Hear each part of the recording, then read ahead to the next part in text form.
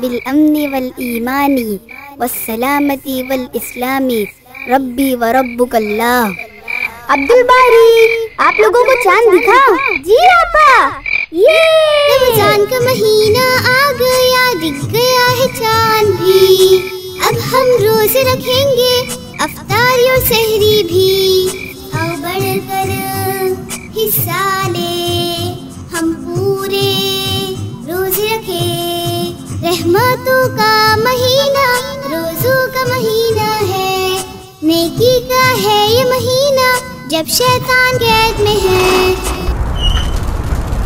आओ बढ़कर हिस्सा ले हम पूरे रोज़े रखे।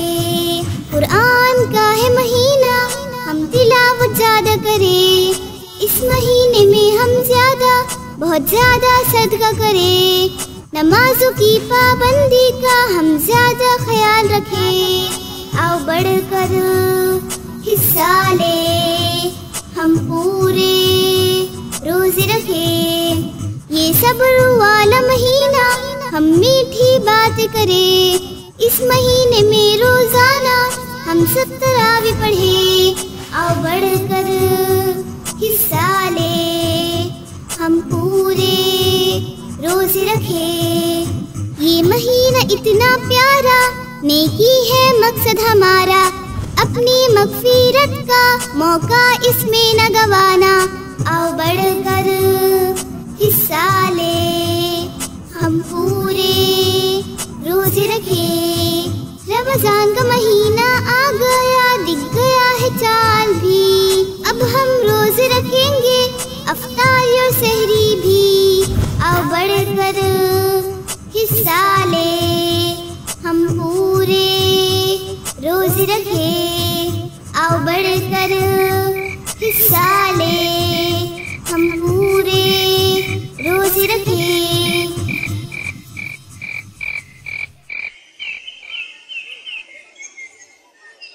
ये लो नवेद। अरे अरे कैच करो। सरफराज तुम बराबर नहीं फेंकते और कहते हो कैच करने। मैं बराबर फेंकता हूँ तुम पकड़ते ही नहीं। अब बॉल को फेंको भी नवेद। ये लो। ये मैंने कैच किया। सरफराज तैयार रहो। अस्सलाम वालेकुम वालेकुम अस्सलाम व रहमतुल्लाह तो बच्चों आज पहला रोजा किस किसने रखे हो? मैंने। मैंने भी रखा हूँ रोजा। माशाल्लाह सभी ने रखे हो? तो सभी ने रमज़ान का अपना अपना शेड्यूल भी बना लिए होंगे। चाचा जान रमज़ान में शेड्यूल कैसा?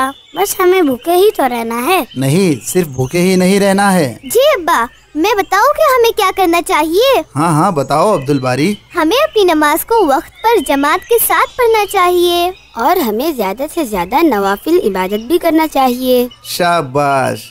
इस महीने शैतान को कैद कर लिया जाता है। हमारे लिए आसान हो जाता है कि हम ज़्यादा से ज़्यादा इबादत करें। लेकिन चाचा जान हम शेड्यूल क्यों बनाए? हम अपने काम पढ़ाई और खेल और दिन भर की सारी एक्टिविटीज़ का शेड्यूल बनाए। उन कामों को ना करें जो ज़रूरी नहीं ताकि ज़्यादा वक्त इबादत में दे सकें। जी अब्बा मैंने और अब्दुल बारी ने एक हफ़्ते पहले ही तैयारी कर चुके हैं। हम्म हमने अपना शेड्यूल पहले ही बना लिए है। अच्छा माशाल्लाह। अब मैं चलता हूँ बच्चों। आप लोग खेलो लेकिन घर जल्दी चले जाना।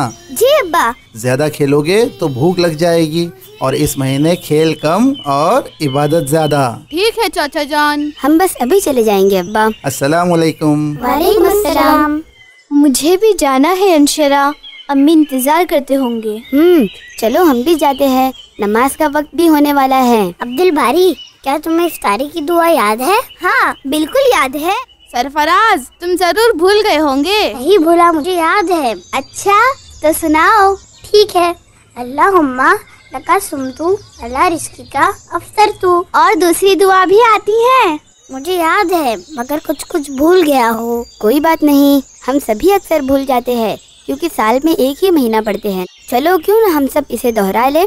जो कोई भूल गया है उसे याद हो जाएगा। ये ठीक रहेगा अंशरा दरअसल मैं भी भूल गई हूँ। ठीक है तो अब्दुल बारी हमें पढ़ाएँगे। ठीक है। ज़हब ज़माऊ ज़हब ज़माऊ। वब्तल्लतिल उरुकु वब्तल्लतिल उरुकु।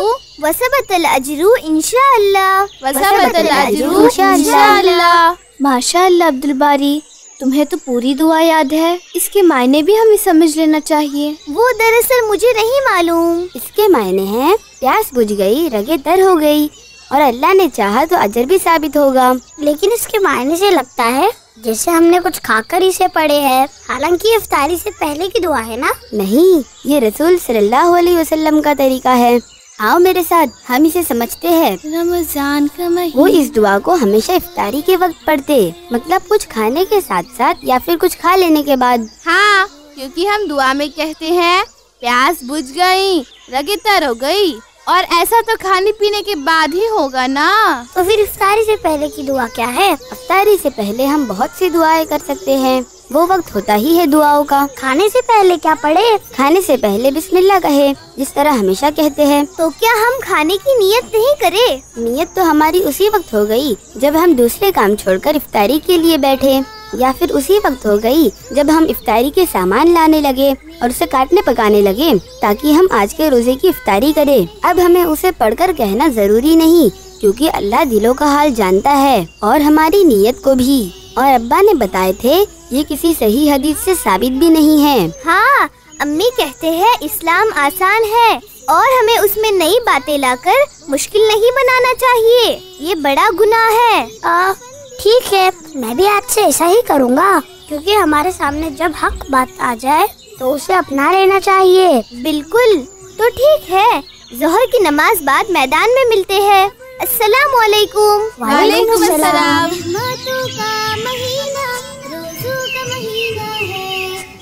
क्या बात है? नवेद नमाज़ पढ़ने नहीं आया। ज़रूर किसी काम में लग गए होंगे, और शायद घर में ही नमाज़ पढ़ ले। हाँ हो सकता है। चलो थोड़ी देर खेल आते हैं। सरफराज, तुमने अम्मी अब्बा से इजाज़त तो लिए थे ना, कि हम नमाज़ बाद कुछ देर खेल कर जाएँगे? हाँ मैंने इजाज़त लिया हो। ये बहुत अच्छा किए। चलो अब जल्दी चले। बाद में घर जाकर कुरान भी पढ़ना है। कुरान का है अस्सलाम वालेकुम वालेकुम अस्सलाम आपा नमाज़ हो गई आप लोगों की। जी आपा। सरफराज नवेद कहाँ है? पता नहीं वो मस्जिद में भी नज़र नहीं आया। अब्दुल बारी। सरफराज सुनो। क्या हुआ नवेद? इस तरह क्यों भागे चले आ रहे हो? सब खैरियत तो है ना नवेद? इतनी ज़ोर से चिल्लाते हुए क्यों आ रहे हो? अब्दुल बारी गजब हो गया। क्या हुआ? मुझसे मुझसे बहुत बड़ी गलती हो गई। हाँ? क्या हुआ? आखिर बताओ भी नवेर क्या गलती कर दिए? वो मैंने मुझसे दरअसल मेरा रोजा टूट गया। क्या? तुमने रोजा तोड़ दिए? रोजा तोड़ दिए? नवेद ने कहा रोजा टूट गया तोड़ा नहीं। नवेद कैसे टूटा रोजा? मैंने खाना खा लिया और पानी भी पी लिया। क्या? तुमसे तो भूखा रहा ही नहीं जाता। हमेशा खाते रहते हो। कैसे रखोगे रोज़े? ऐसा नहीं कहते सरफराज। लेकिन तुमने खाना क्यों खा लिए? भूल कर खा पी लिया। भूल कर खा लिए? तुम्हें याद नहीं? रमज़ान है हम रोज़े से है। मैं खाना खाकर पानी पी रहा था तब मुझे याद आया। मैं तो हमेशा याद रखता हूँ कि मैं रोज़े से हूँ।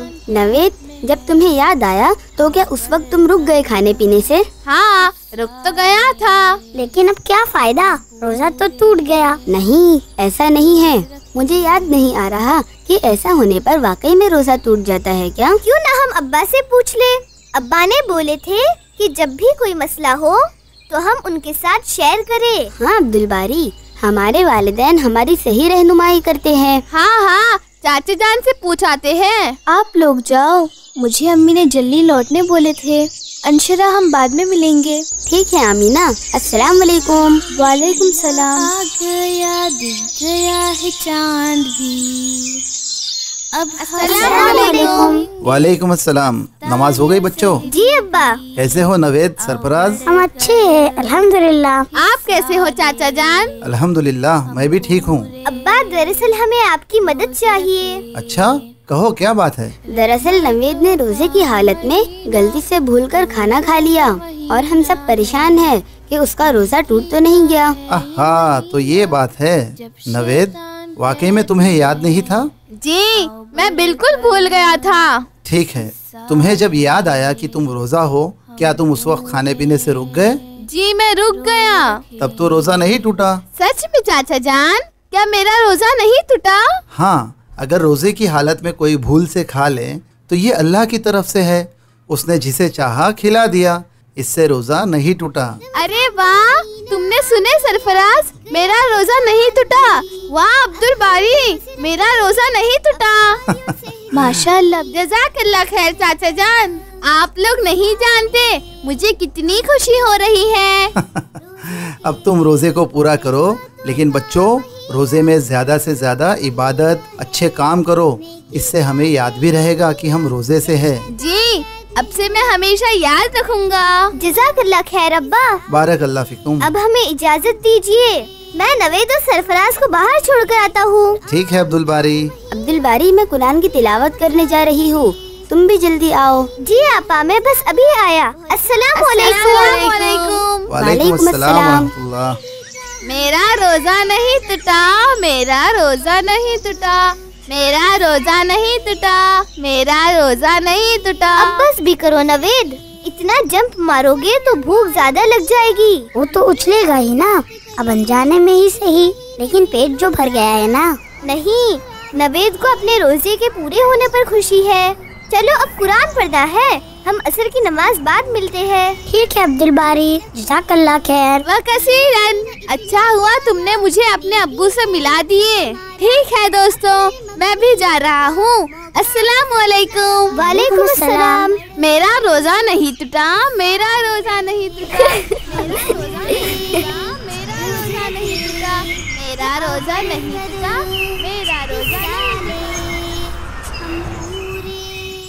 नवेद, मैंने एक पारा कंप्लीट कर लिया। और अल्लाह ने चाहा तो इस महीने में मैं ज़्यादा से ज़्यादा कुरान पढ़ूँगा। मैंने भी पूरी कोशिश किया। लेकिन एक पारा पूरा नहीं हुआ। कल मैं थोड़ा ज़्यादा पढ़ूँगा। अब्बा तो रोज़ाना कुरान का तर्जुमा भी करते हैं ताकि हम सिर्फ़ अरबी में ही नहीं बल्कि कुरान को अपनी जबान में भी समझे। अरे वाह ये तो बहुत अच्छी बात है। मैं भी कल से आऊँगा तुम्हारे घर कुरान सुनने। ज़रूर नवेद मैं तुम्हारा इंतज़ार करूँगा। आ, क्या बात है सरफराज? तुम इतने खामोश क्यों हो? तुमने कितना पढ़े आज? अ, वो क्या कहो? असल में मुझसे बहुत बड़ी गलती हो गई। और पता नहीं मेरा रोजा होगा भी या नहीं। ऐं? अब तुमने क्या कर दिए सरफराज? दरअसल मैंने अम्मी से झूठ बोल दिया कि मैं कुरान पढ़ने बैठा था जबकि मैं नहीं बैठा। ओह तुमने झूठ बोल दिए? हाँ और अम्मी कहते हैं हमें किसी भी हाल में झूठ नहीं बोलना चाहिए। हमेशा सच बोलना चाहिए। क्योंकि ये गुनाह है और मैंने रोजा रखकर गुनाह कर दिया। हाँ ये बात तो बिल्कुल सही है। अब क्या करे? सरफराज का तो पूरा दिन भूखा रहना जाया हो गया। हाँ ना मुझे झूठ नहीं बोलना चाहिए था। सरफराज उदास मत हो जाओ। हाँ बच्चों ये अच्छी बात है कि इस गलती का तुम्हें एहसास है और इससे तुम दुखी भी हो। लेकिन सिर्फ़ गमगीन रहने से गम और बढ़ता है। तो मुझे क्या करना चाहिए उस्ताद? तुम्हें अल्लाह से माफ़ी मांगनी चाहिए और दोबारा ऐसे गुनाह के काम नहीं करना चाहिए। तो क्या मेरा रोजा नहीं टूटेगा? अल्लाह ने चाहा तो नहीं टूटेगा लेकिन याद रखो बच्चों रमज़ान आया ही इसीलिए है ताकि हम मुत्तकी बन सके मतलब परहेजगार और गुनाहों से बचने वाले बन सके। अल्लाह ताला कुरान में फरमाता है कि हमने तुम पर रोज़े फ़र्ज़ किए जिस तरह तुमसे पहले के लोगों पर फ़र्ज़ किए थे शायद कि तुम परहेजगार बनो। इसीलिए बच्चों हमें गुनाहों से बचना चाहिए। मतलब मैंने इस अजीम महीने में भी गुनाह कर दिया तो मेरा रोजा कैसे होगा? अल्लाह से माफ़ी मांगो वो बड़ा ही रहमान और रहीम है माफ़ कर देने वाला है। लेकिन शर्त ये है कि हम दोबारा ऐसी गलती ना करें। हाँ सरफराज तुम अल्लाह से माफ़ी मांगो। शायद वो तुम्हारा रोजा कबूल कर ले और माफ़ भी कर दे। हाँ नवेद मैं अल्लाह से मगफिरत तलब करता हूँ। लेकिन ये उस्ताद कहाँ चले गए? पता नहीं अभी तो यही थे। खैर चलो अब घर चलते हैं। इफ्तारी के लिए बहुत कम वक्त है और हमें दुआ भी करना है। सरफराज तुम इफ्तारी से पहले दुआओं में अल्लाह से माफ़ी तलब करना। हाँ ज़रूर। तुम लोग भी मेरे लिए दुआ करना कि अल्लाह मेरे रोज़े को कबूल कर ले। ठीक है सरफराज इंशाअल्लाह। अस्सलाम वालेकुम वालेकुम अस्सलाम कुरान का ही महीना हम तिलावत ज़्यादा करें इस महीने में हम ज़्यादा बहुत ज़्यादा मुझे लग ही रहा था नवे दूसरे ही दिन से तरावी आने में सुस्ताएगा और हमें उसे लेने जाना होगा। हम्म लेकिन पहले देख लेते हैं आखिर माजरा क्या है? होगा क्या? अफ्तारी के बाद गेम खेल रहा होगा या सो रहा होगा? ऐसा नहीं कहते सरफराज। गुमान नहीं करना चाहिए। जब तक अपनी आँखों से न देख ले तब तक किसी के बारे में कुछ भी सोचना या बोलना नहीं चाहिए। अस्सलाम वालेकुम वालेकुम अस्सलाम बच्चों। खाला नवेद नमाज़ नहीं आ रहा? नवेद की तबीयत थोड़ी ख़राब है। बच्चों उसे दरअसल उल्टी और बदहजमी हो गई है। असल में उसने अफ्तारी में कुछ ज़्यादा खा लिया था। ओह अल्लाह उसे शिफा दे। ठीक है खाला। हम उसे कल स्कूल में मिल लेंगे। अब हम चलते हैं। नमाज़ का वक्त हो चुका। ठीक है बच्चों अस्सलाम वालेकुम। वालेकुम अस्सलाम। देखिए अब्दुल बारी मैंने कहा था ना ये खाकर आराम कर रहे होंगे। ऐसा नहीं है। नवीद की तबीयत खराब हो गई है। हाँ तो किसने कहा था इतना ज़्यादा खाने को? ज़्यादा तो हम सभी खाते हैं इफ्तारी में। मैं रात में इस बारे में अब्बा से पूछूँगा। चलो अब जल्दी जल्दी। मैं तो ईशा जमात से नहीं मिलेगी। रहमतों का महीना रोजों का महीना तो कैसा रहा तुम्हारा पहला रोजा अमीना? अंशरा मैं नहीं रख पाई कल रोजा। दोपहर बाद मुझसे भूख बर्दाश्त नहीं हुआ। तो अम्मी ने कहा धीरे धीरे रोज़े रखना क्योंकि अगर तबीयत खराब हो गई तो एक भी रोजा नहीं रख पाऊँगी। हाँ ये अच्छा किया तुमने। वैसे भी अभी रोज़े फ़र्ज़ नहीं हुए। फ़र्ज़ नहीं हुआ तो क्या हुआ? रोज़े रखना चाहिए। इन्हें तो बस सहरी और इफ्तारी में खाना होता है। आओ नवेद से मिलाते हैं। उसकी तबीयत कल से खराब है। हाँ चलो। मुझे भी अपनी किताब लेनी है। कंप्लीट करने दिया था। हम ज़्यादा ख्याल वो देखो कैसे खेल रहे हैं? तुमने तो कहा था नवेद की तबीयत खराब है। और ये तो यहाँ खेलने में लगे हैं। अस्सलाम वालेकुम नवेद। वालेकुम सलाम। अरे नवेद तुम यहाँ खेल रहे हो? हाँ आ, हाँ अब्दुल बारी। लेकिन कल रात से तुम्हारी तबीयत खराब थी ना और शायद इसी वजह से तुम स्कूल भी नहीं आए। हाँ लेकिन सुबह से थोड़ा आराम है। तो स्कूल क्यों नहीं आए? स्कूल जाने के वक्त खराब थी तबीयत। लेकिन अभी तुम खेल रहे हो। हाँ अब्दुल बारी। मैंने आज भी रोजा रखा हूँ। और भूख का एहसास ना हो इसीलिए सोचा थोड़ा दिल बहला रहेगा खेलने से। ये तुम क्या कर रहे हो नवेद? रोज़े में इबादत के बदले तुम स्कूल की छुट्टी करके खेलोगे? वो भी दिल बहलाने के लिए। देखो नवेद हमें रोजा सिर्फ़ भूखे रहने के लिए नहीं रखना है। कि बस कोई सूरत खेल कूद कर वक्त गुजर जाए और हम इफ्तारी में खा ले। बल्कि हमें अपने काम और जिम्मेदारियों को करते हुए इबादत करनी चाहिए। हाँ और हमें भूख को एहसास करना चाहिए ताकि हमें पता चले कि गरीब लोग किस तरह आधा पेट खाते हैं या उससे भी कम। अम्मी कहते हैं कि हम रोजा रखकर किसी पे एहसान थोड़ी ही करते हैं कि हम अपने काम और जिम्मेदारियों से भागते फिरे। हाँ ठीक है मैं खिलौना रख कर आता हूँ। हम जोहर में मिलते हैं। और नवेद कल तुम्हें बदजमी हो गई थी ना? हाँ बिल्कुल। इफ्तारी के बाद तबीयत बहुत खराब थी और बाद में बदन बिल्कुल ढीला हो गया था।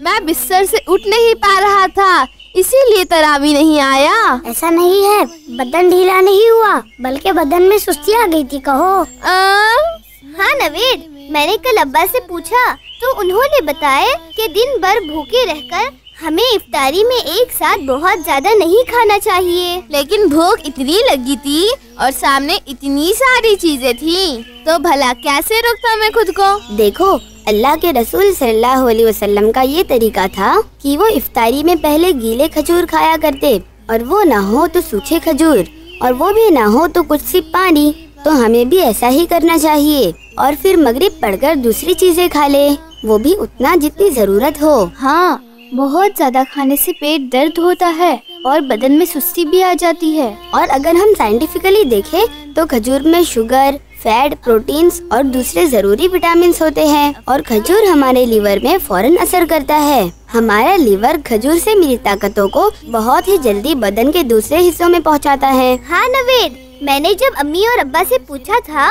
तो उन्होंने ये भी बताया कि खाने से कुछ देर पहले खजूर खाने से पेट का हाजमा भी ठीक रहता है। और चूँकि खजूर खाने से शुगर लेवल सही रहता है, जिससे हमारी भूख कम होती है और हम बहुत ज़्यादा खाने से बच जाते हैं।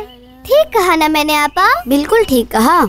तो हमें भी नबी सल्लल्लाहु अलैहि वसल्लम की इन सुन्नतों को अपनाना चाहिए, ताकि हमारे रोज़े ठीक तरीके से हो और हम सुस्त और बीमार ना हो जाए, बल्कि हमारा बदन चुस्त रहे। और हम अपनी पढ़ाई और दूसरे कामों को भी सही तरह से कर सके। और इबादत भी ज़्यादा कर सके। अच्छा हुआ। आप लोगों ने हमारे साथ ये बात को शेयर किए। हम सब ऐसा ही करेंगे। इंशाअल्लाह अब जल्दी चलो। जोहर की अजान हो चुकी। अब्दुल बारी हम घर जा रहे हैं। तुम भी नमाज़ बाद जल्दी घर आ जाओ। जी आपा मैं जल्दी आ जाऊँगा।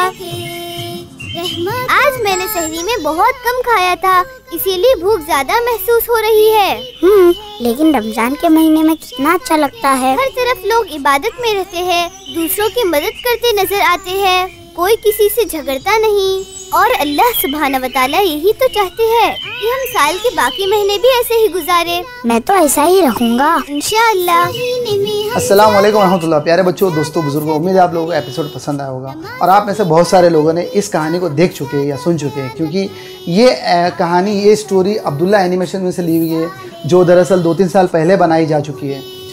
दरअसल लोगों की बहुत सारे कमेंट्स थे बहुत सारे लोगों के डिमांड्स थे कहे या उन्होंने हमें रिक्वेस्ट किया था कि रमज़ान के उनवान पर कोई एपिसोड बनाई जाए अब्दुल बारी एनिमेशन को लेकर। तो दरअसल वक्त की किल्लत थी और अलावा इसके रमज़ान चूँकि एक वास्ट टॉपिक है, उसके बहुत सारे शोबे हो सकते हैं, एक कहानी लंबी हो सकती है, लेकिन वक्त को देखते हुए हमने उसी अब्दुल्ला एनिमेशन की पूरी कहानी को लेकर एक नए सिरे से नए किरदार अब्दुल बारी के कैरेक्टर्स और इनके लोकेशंस और इनकी वॉइस में ये बनाकर हमने पेश किया। इंशाल्लाह आप लोगों को पसंद आएगा। इसके पीछे बड़ी वजह ये थी कि बाज़ जो बहुत सारे जो बच्चे बड़ी तादाद में जो बच्चे हैं, वो अब्दुल बारी को जो है, बहुत ज़्यादा देखते पसंद करते हैं। तो वो जब देखेंगे रोज़े के ताल्लुक से जो पूरी, जो भी बातें बताई गई स्टोरी में तो वो ज़्यादा अपने आप को रिलेट करेंगे इंशाल्लाह। यही वजह थी कि हमने उसी कहानी को रिपीट किया इंशाल्लाह। आप लोगों को पसंद आया होगा दोस्तों। अलावा इसके हमने रिक्वेस्ट किए थे रिसेंट वीडियो में कि आप अपने बच्चों के तीस तीस सेकेंड के पंद्रह पंद्रह सेकेंड के वीडियोज़ जो हमें भेजें, उनकी दुआओं को रिकॉर्ड करके, उसकी पूरी डिटेल्स और तफसील उस वीडियो में बता दी गई है। जिन्होंने नहीं देखा उस वीडियो को, जाकर ज़रूर देखें। और 20 मई जो है, मई की ट्वेंटी बीस तारीख जो है आखिरी दिन है सबमिशन का। कहाँ सबमिट करना है कैसे वीडियो बनाना है सारी डिटेल्स उसमें दी हुई है। आप ज़रूर जाएँ और अपने बच्चों के वीडियोस हमें ज़रूर भेजें ताकि हम उसे ईद से पहले पब्लिश करें। आ, बच्चों को एक मोटिवेशन मिलेगा उससे इंशाल्लाह। क्योंकि बच्चे पसंद करते हैं अब्दुल बारी एनिमेशन को तो अब्दुल बारी कैरेक्टर के साथ जो है आ, उसकी जो है ग्राफिक के साथ जो है इंशाल्लाह उनकी वीडियोस को हम पब्लिश करेंगे। दोस्तों दुआ की दरख्वास्त है और जो है आप सब्सक्राइब के बटन को दबाना ना भूलें। अलावा इसके आप जो है बेल के आइकन को ज़रूर क्लिक करें ताकि आपको हमारे अपडेट्स के नोटिफिकेशन मिलते रहे। इन बोलते बोलते दरअसल मैं भूल जाता हूँ। थोड़ा स्लो अप डाउन होते रहते हैं, इंशाल्लाह बर्दाश्त करें आप लोग। जजाकल्ला खैर असल वरहमतुल्लाह।